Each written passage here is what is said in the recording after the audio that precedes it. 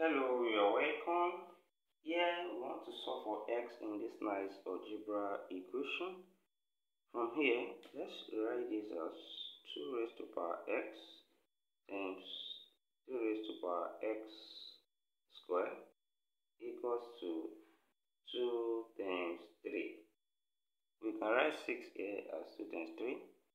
Then, from here, let's separate this into fractions and we divide this side by 2 and also this side by 2 and uh, also we divide this side by 3 raised to power x square and also this side by 3 raised to power x square. And here this we cancel out also 2 we cancel 2 here and what we left here will become 2 raised to power x over 2 now equals to 3 over 3 raised to power x squared.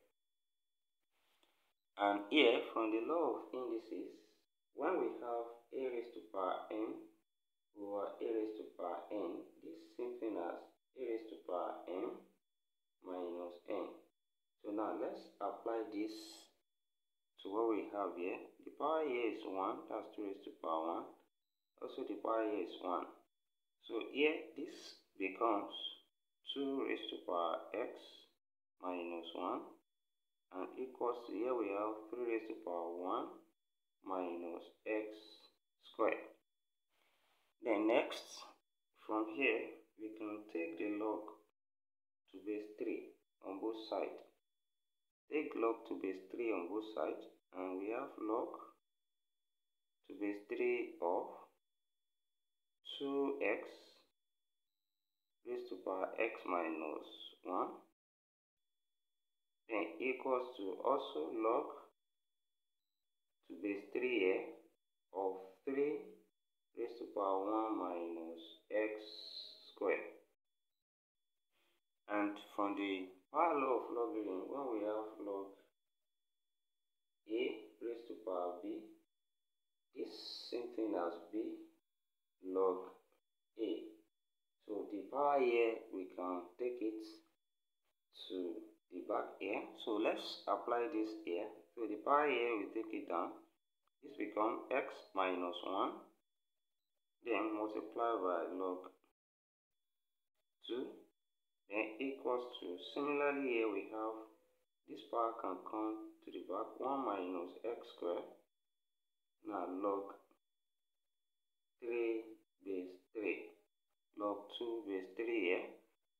Then in the next step, when we have log a base a, this will give us 1 on the law of logarithm. So here, log 3 base 3 here will become 1. And here this will become, what we have here We will be left with x minus 1 log 2 base 3 will then be equals to 1 minus x squared times 1 will still be 1 minus x squared. So now from here we take everything on this side to this side. And what we have here is x minus 1 log 2 base 3 then we now be plus x square then minus 1 equals to 0 and 1 here can also be expressed as 1 square. And from here, apply difference of two squares.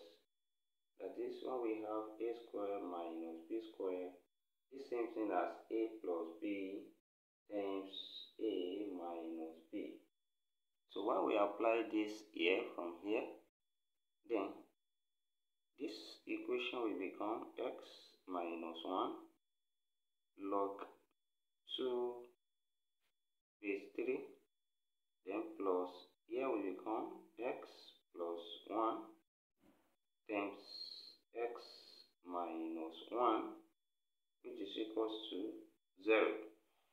Then next from here we have x minus 1, x minus 1. That means that's common. Let's factor it out. x minus 1 now into bracket. What left here is log 2 to base 3. Then plus. What left here is x plus 1. x plus 1 then equals to 0. Then from here the two cases we have will be x minus 1 equals to 0 or we have log 2 is 3 plus x plus 1 equals to 0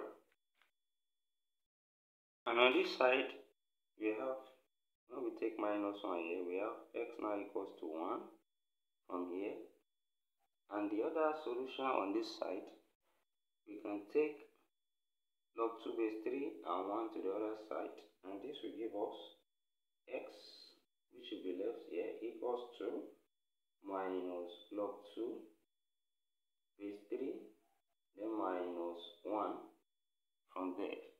Then we can rewrite this and this will be x equals to when we factor minus out it will be minus into bracket log 2 base 3 then plus 1 from here then we can also write 1 again as log 3 base 3 and this will become x equals to minus into bracket log 2 base 3 then plus log 3 base 3 as log 3 base 3 same thing as 1 then from here we apply the law of logarithm, when we have log A base C plus log B base C, this can be written shortly as log AB